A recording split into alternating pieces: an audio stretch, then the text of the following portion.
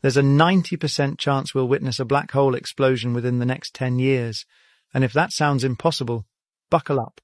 Astronomers are watching a black hole system called V404 Cygni, about 7,800 light years away, and the data suggests it's about to unleash something the universe rarely shows us a cosmic detonation.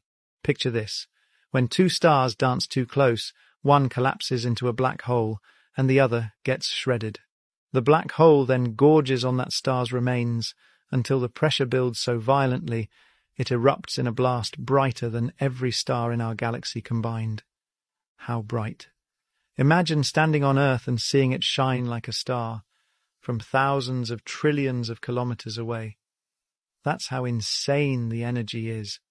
Scientists say it could happen any day between now and 10 years from now. And if we catch it, it won't just be history.